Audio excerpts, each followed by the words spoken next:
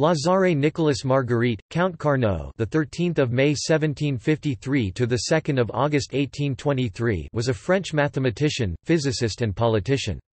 He was known as the organizer of victory in the French Revolutionary Wars.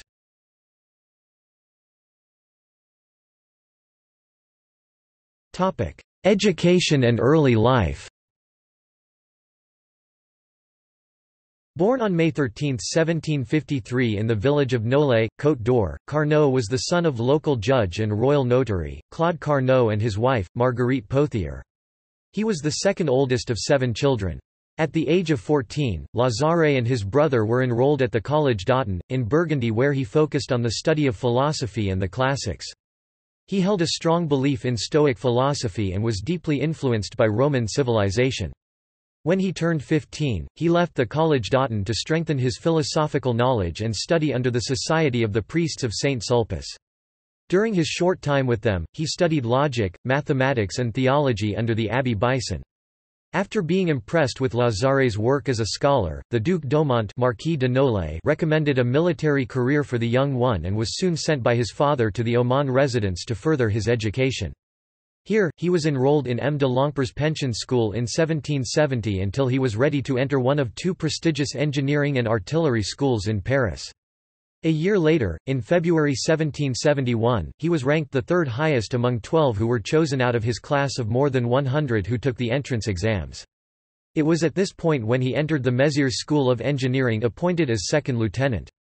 Studies at the Mézières included geometry, mechanics, geometrical designing, geography, hydraulics and material preparation. On January 1, 1773, he graduated the school ranked as first lieutenant. He was 18 years old, it was here where he met and studied with Benjamin Franklin and at the age of 20 and obtained commission as a lieutenant in the Prince of Condé's Engineer Corps. At this moment, he made a name for himself both in the line of physics theoretical engineering and in his work in the field of fortifications. While in the army, he continued his study of mathematics.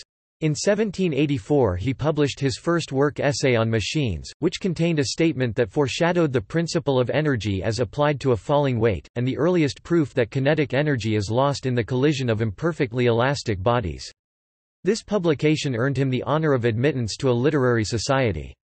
Another turning point was his essay on Vauban in which he praises the engineer on his works while at the same time developing his own career as a writer, engineer.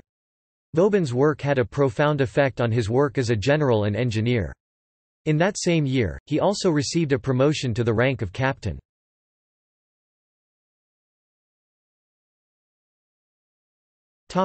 Political career At the outbreak of the French Revolution in 1789, Carnot entered political life. He became a delegate to the legislature in 1791. While a member of the Legislative Assembly, Carnot was elected to the Committee for Public Instruction.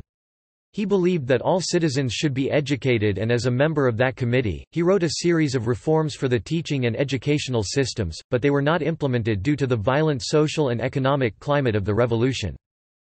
After the Legislative Assembly was dissolved, Carnot was elected to the National Convention in 1792.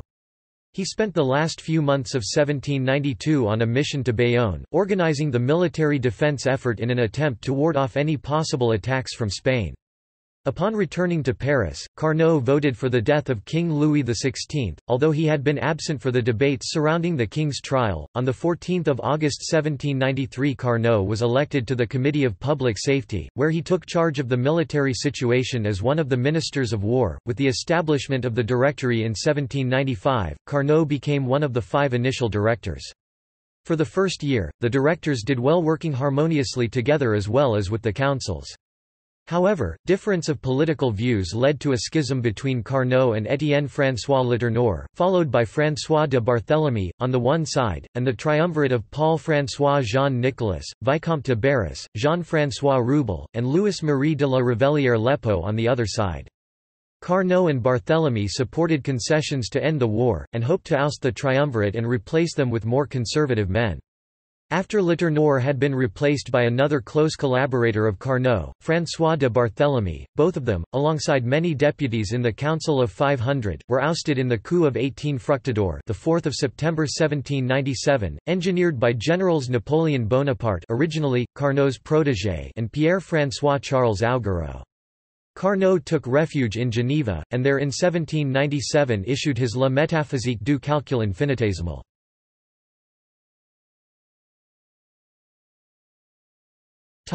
Military accomplishments The creation of the French Revolutionary Army was largely due to his powers of organization and enforcing discipline.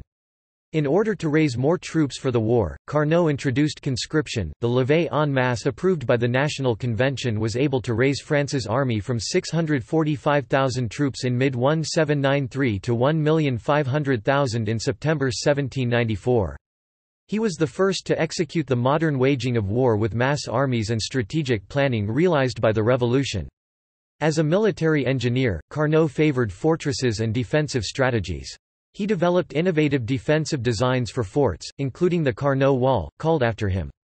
However, with the constant invasions he decided to take his strategic planning to an offensive strike.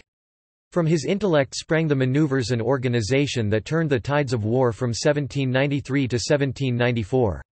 The basic idea was to have a massive army separated into several units that could move more quickly than the enemy and attack from the flanks rather than head-on, which had led to resounding defeats before Carnot was elected to the Committee of Public Safety. This tactic was extremely successful against the more traditional tactics of existing European armies. It was his initiative to train the conscripts in the art of war and to place new recruits with experienced soldiers rather than having a massive volunteer army without any real idea of how to wage battle. Once the problem of troop numbers had been solved, Carnot turned his administrative skills to the supplies that this massive army would need. Many of the munitions and supplies were in short supply, copper was lacking for guns so he ordered church bells seized in order to melt them down, saltpeter was lacking and he called chemistry to his aid, leather for boots was scarce so he demanded and secured new methods for tanning. He quickly organized the army and helped to turn the tide of the war.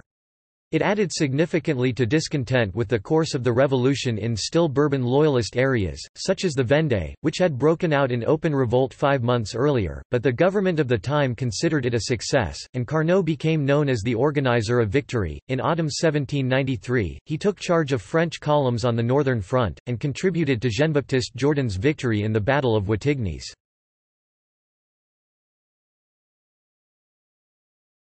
Topic. Relationship with Maximilien Robespierre and the Jacobin Club Carnot met Robespierre for the first time in Arras where he was assigned for military duty and shortly after Robespierre finished his legal studies. Both of them were members of the literary and singing Société des Rosati. The group was founded in 1778 and was inspired by the works of Chapelle, La Fontaine, and Chaulieu. It was here where they became acquaintances and eventually friends. Robespierre preceded Carnot into the Academy of Arras entering in April 1784 while he entered three years later in 1787. While being an active member of the Committee of Public Safety in 1794, tensions between Carnot and Robespierre began to rise massively. During his time on the committee, which was heavily radical, Carnot signed a total of 43 decrees and drafted 18 of them. Most of them regarding military tactics and education. Despite leaning on Jacobin beliefs, Carnot was considered the «conservative» of his half. He was not an official member of the radical group and therefore took on his own independent beliefs in regards to many issues.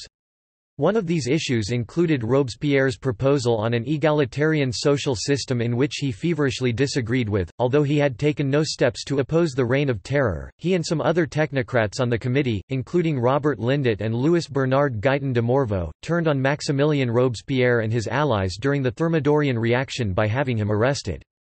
Robespierre was later killed along with 21 of his followers. Shortly after Robespierre's fall, Carnot was charged for his role during the time but the charges were quickly dismissed when he became a member of the Directory.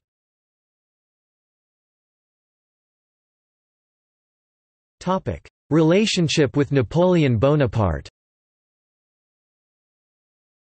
In 1795, Lazare appointed Napoleon Bonaparte as General-in-Chief of the Army of Italy. He is known to be the only member of the Directory to have supported Napoleon during this time. In 1800, Bonaparte appointed Carnot as Minister of War, and he served in that office at the time of the Battle of Marengo. In 1802 he voted against the establishment of Napoleon's consular powers for life and the passing of the title to his children, for as Carnot said when speaking of the power necessary to govern a state, if this power is the appendage of a hereditary family it becomes despotic. After Napoleon crowned himself emperor on 2 December 1804, Carnot's republican convictions precluded his acceptance of high office under the First French Empire, and he resigned from public life. Probably in response to the fall of the fortress of Vlissingen to the British during the Walcheren campaign in 1809, Napoleon employed Carnot to write a treatise describing how fortifications could be improved, for the use of the École militaire de Metz. Building on the theories of the controversial engineer Montalembert, Carnot advanced ideas on how the long-established bastion system of fortification could be modified for close defense and to allow for counter-attack by the besieged garrison. In 1812, Carnot returned to office in defense of Napoleon during the disastrous invasion of Russia. He was assigned the defense of Antwerp against the Sixth Coalition. He only surrendered on the demand of the Count of Artois, who was the younger brother of Louis XVIII and later Charles X. He was later made a Count of the Empire by Napoleon as Lazare Nicolas Marguerite, Comte Carnot.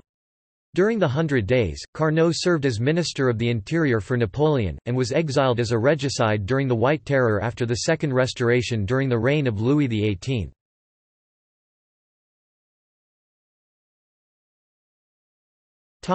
Retirement and legacy In 1803 Carnot produced his Géométrie de position. This work deals with projective rather than descriptive geometry. Carnot is responsible for initiating the use of cross ratios. He was the first to introduce the cross anharmonic ratio of four points of a line taking account of its sign, thereby sharpening Pappus' concept. He then proved that this ratio is invariant for the four points obtained by cutting four lines of a pencil of lines with different secants. In this way, he established the harmonic properties of the complete quadrilateral. This approach to geometry was used by Carl von Staudt four decades later to set a new foundation to mathematics.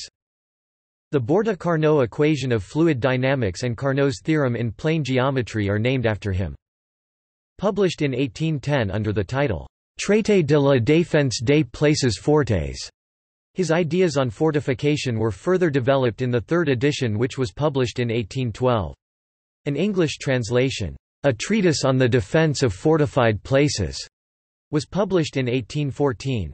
Although few of his proposals were accepted by mainstream engineers, the Carnot wall, a detached wall at the foot of the escarp, became a common feature in fortifications built in the mid-19th century. He lived in Warsaw, and moved to Prussia, where he died in the city of Magdeburg. Carnot's remains were interred at the Panthéon in 1889, at the same time as those of Marie-Victor de la Tour Maubourg, Jean-Baptiste Baudin, and François-Séverin Marceau Desgraviers. Carnot survived all the phases of the French Revolution, from its beginnings in 1789 until the fall of Napoleon in 1815. On the social and political front, Carnot was the author of many reforms sought to improve the country. One of these was the proposal for compulsory public education for all citizens. He also penned a proposal for the new constitution which included the "...declaration of the duties of the citizens." that held that there should be not only education but military service for all citizens of France between the ages of 20 and 25. These proposals were in accordance with the revolutionaries' thinking at the time, which held that men and women should be honored through ability and intelligence rather than through birthright, even though Carnot himself was nobly born.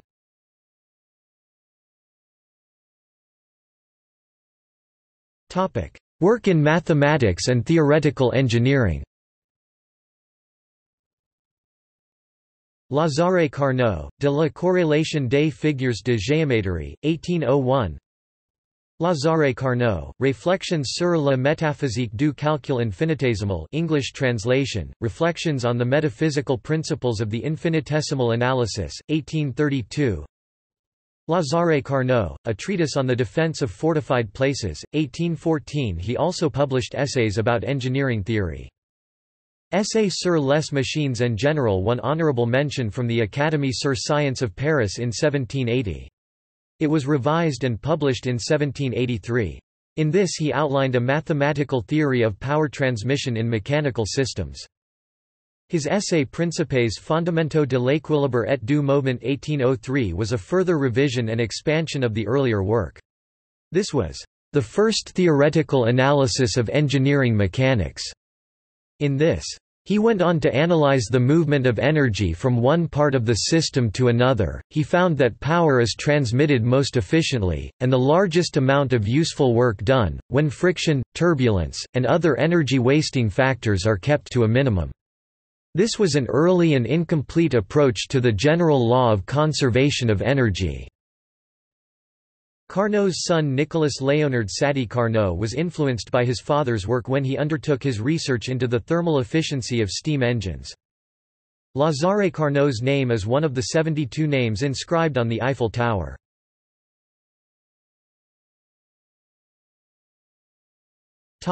See also Borda-Carnot equation Carnot's theorem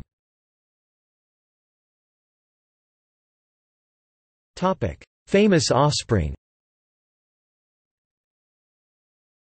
His son Sadi Carnot was a founder of the field of thermodynamics and the theory of heat engines see Carnot cycle.